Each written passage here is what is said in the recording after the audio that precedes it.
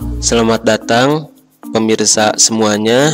Sekarang kita akan membuat lagi berbagi file dan video tutorial sertifikat dengan mail merge ya. E, informasi saja, mail merge itu adalah fitur dari Microsoft Word yang digunakan untuk mencetak secara massal datanya bersumber salah satunya yang diambil dari e, Microsoft Excel. Nanti kita juga akan membagikan untuk desain sertifikatnya, tampilannya. Kita disimpan di thumbnail ada tiga tampilan. Nanti kita akan bagikan silahkan di download di durasi ke 3 menit. Sekarang kita langsung saja pada tutorialnya. Oke, sebelumnya teman-teman kita review dulu apa yang akan kita dapatkan dan bagaimana cara menggunakannya. Di sini kita sudah menyiapkan tiga file Microsoft Word ya, teman-teman. Di sini sudah ada sertifikat 1, 2 dan 3. Kalau kita buka nanti teman-teman bentuknya seperti ini. Di sini saya sudah di setting ke dalam uh, Microsoft Excel dan nanti kita juga bisa menggunakan dan caranya kita akan e, peragakan. Kita tekan yes atau no sama saja ya. Nanti kita set ulang saja. Kita tekan no saja. Oke ini ada ini adalah sertifikat yang pertama ini yang kedua dan ini yang ketiga. Sebelum digunakan teman-teman diperhatikan dulu di sini dari beberapa data yang akan dipakai di dalam sertifikat. Pertama ada tulisan sertifikat terus di sini biasanya kalau sertifikat yang resmi itu ada nomor ya. Apalagi keluar dari lembaga itu ada nomor sertifikatnya. Ini biasanya keluar dari lembaga itu sendiri. Selanjutnya sertifikat yang diberikan kepada lalu ada penerima sertifikat dan di bawahnya di sini ada eh, juara ya. Atau teman-teman nanti bisa diganti dengan kata sebagai peserta juara satu atau juara tiga dan lain-lain oke? okay?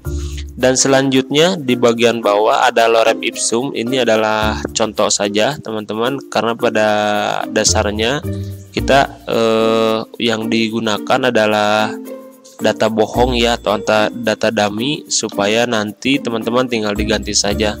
Biasanya di sini deskripsi yang menjelaskan mudah-mudahan dengan sertifikat ini bisa menjadi menambahkan eh, wawasan dan lain-lain lah seperti itu Oke, itu untuk deskripsi yang di bawah. Teman-teman juga bisa menghilangkan format dari sertifikat ini menggunakan di sini ada clear all formatting. Terus bisa kita lakukan format ulang sesuai dengan kebutuhan. Untuk perataan, teman-teman bisa menggunakan area di bagian uh, ruler ya. Untuk mendapatkan file, silakan nanti tinggal di halaman dan download yang ada di teman-teman menggunakan. Setelah itu nanti teman-teman akan dibawa kepada halaman di sini blog. menggunakan cari tombol download biasanya paling bawah. Ketika diklik nanti akan langsung dibawa ke Google Drive.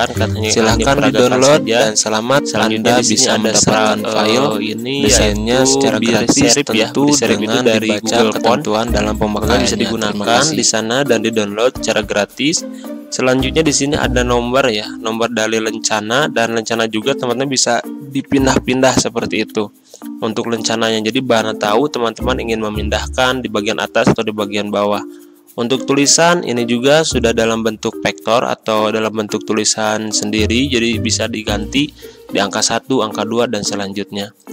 Informasi yang lain di sini eh, perlu diketahui bahwa sertifikat yang kita bagikan ini berasal dari SPG ya. Jadi insya Allah ini tidak akan blur ketika di print karena walau dijumpun beberapa kali sampai maksimal ini tidak akan e, blur ya. Bisa dilihat teman-teman karena ini adalah filenya SPG seperti itu itu untuk sertifikat yang pertama dan selanjutnya untuk sertifikat yang kedua. Tidak jauh berbeda ya seperti itu. Hanya di bagian atas.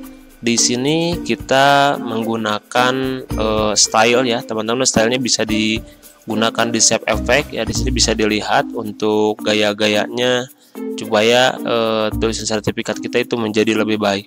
Kalau ingin uh, menggunakan gradasi, teman-teman dipilih ya di sini di bagian tulisan.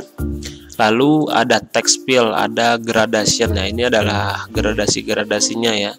Kebetulan yang kita setting adalah gradasi warna emas seperti itu dan kalau ingin menggunakan gradasi yang lain tinggal dipilih di sini dan bisa disesuaikan dengan kebutuhan atau uh, keinginan teman masing-masing. Itu untuk sertifikat yang kedua dan bagian sertifikat yang ketiga ini lebih simpel ya. Untuk di bagian rencananya ada beberapa tulisan. Di sini ada tulisan best ya atau yang terbaik. Juga ada tulisan template. Di sini bisa diganti dengan momennya misalkan uh, the best uh, student atau dan lain-lain lah. Selanjutnya ini sama saja ini untuk garisnya juga ada. Perbedaannya di sini ada barcode. Biasanya ya ini bisa digunakan untuk barcode nomor sertifikat atau barcode dari data pribadi atau sesuai di kebutuhan saja. Nanti bisa digunakan langsung dimasukkan saja dengan cara format save dan picture. Diganti silahkan dimasukkan e, barcode-nya sesuai dari e, data yang diinputkan Oke itu untuk cara menggunakannya sekarang e, perkenalan maksud saya selanjutnya kita akan menggunakan cara menggunakan mail merge ya atau cara menggunakan cetak massal. Oke, kita akan praktekkan di sertifikat yang uh, ini saja ya. Kita close dulu semuanya biar nanti teman-teman mudah juga untuk menggunakannya. Oke, kita pilih di sini sertifikat yang pertama. Kita klik dua kali. Di sini belum di setting ya teman-teman untuk uh, settingan mail merge-nya caranya eh, pertama kita masuk dulu ada mailing. Setelah itu ada selection recipients ya. Kita klik lalu ada use and extinguish kita pilih. Silahkan dipilih di mana eh, Anda menyimpan file hasil download. Di sini ada data sertifikat tinggal diklik saja. Oke. okay. Bisa dilihat teman-teman di sini hanya ada satu sheet ya. Hanya ada satu sheet kita pilih oke okay. oke. Okay. sebelumnya kita buka dulu yang data sertifikat yang ini. Ya ini adalah sertifikat yang digunakan untuk sertifikat yang barusan. Di sini tulisannya read only ya karena ini sudah dihubungkan ke Microsoft Word yang tadi. Kalau e, mau dilihat saja kita klik aja read only. Ini adalah e, keterangannya ya. Ini untuk nomornya nama dan keterangan. Yang ada di sertifikat seperti ini untuk nomor ya nanti akan digunakan otomatis. Terus untuk eh, nama dan di sini adalah statusnya ya peserta atau juara atau status yang lain. Kita coba saja. Caranya teman-teman kita masukkan file ya di tab mailing di sini diklik dulu nomornya ini disorot teman-teman. Tanda titik duanya jangan dimasukkan jadi yang dimasukkan hanya ini saja di bagian angka. Kita pilih insert lalu ada no ya klik no nya seperti itu.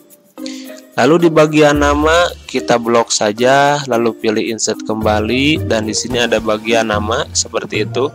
Dan di bagian peserta seminar kita pilih insert field dan pilih keterangan. Oke.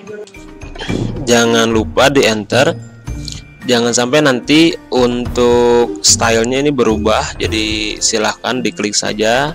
Kalau sudah menggunakan mild merge ya setelah diklik itu akan terklik semuanya.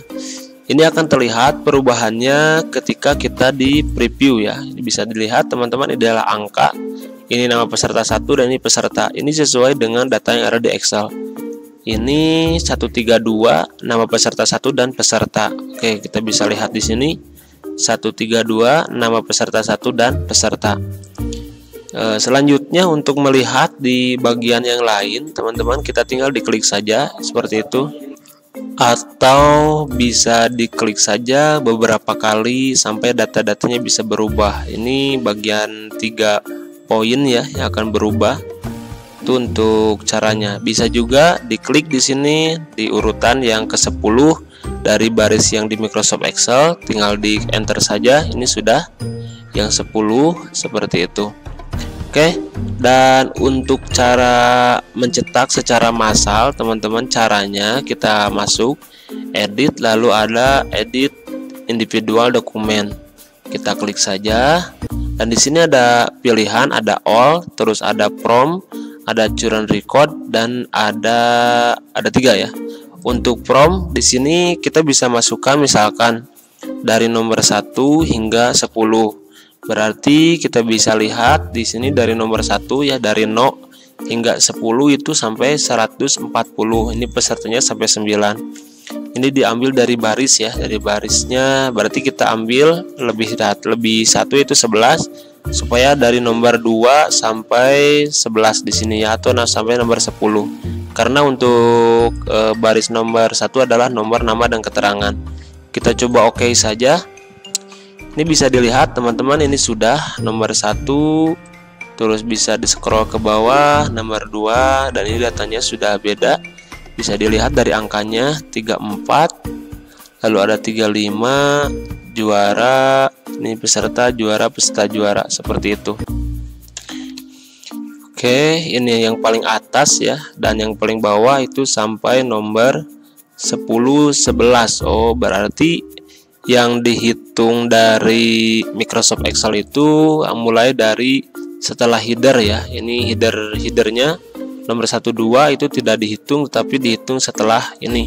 Karena kita tadi memasukkan kan dari nomor 1 ya.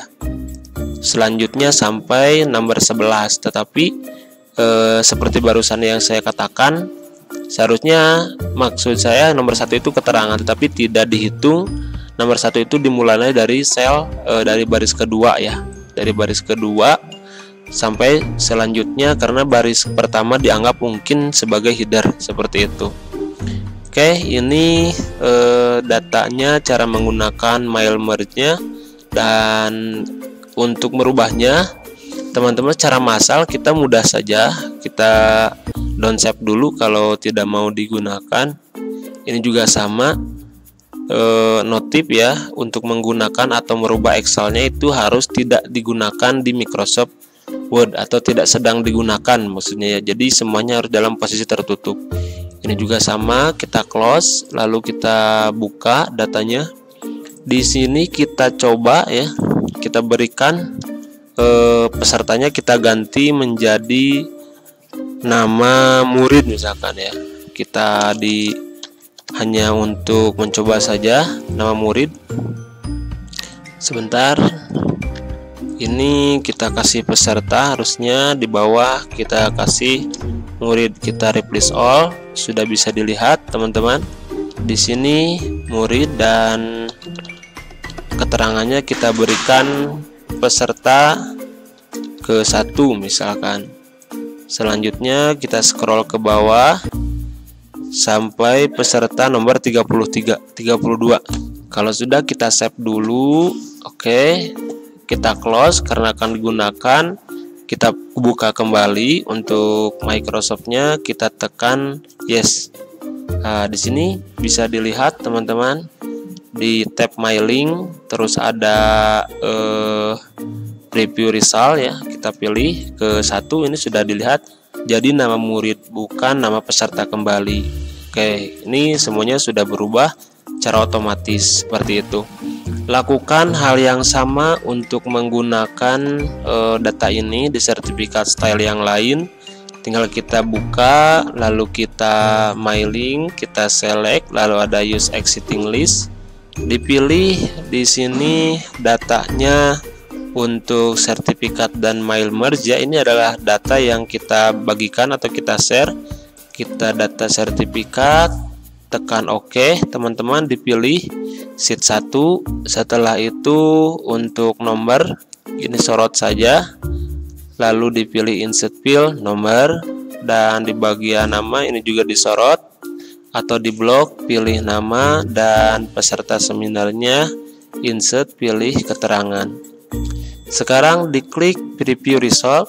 Ya seperti itu. Ini sudah berubah dan datanya sudah masuk. Untuk mencetaknya kita bisa di print dokumen atau dicek dulu di edit individual dokumen. Dipilih misalkan 1 sampai data 20 atau peserta 20 tekan OK Tunggu beberapa saat hingga di sini sampai ada nama murid satu, peserta ke satu, sampai ke bawah, sampai ke nomor 20.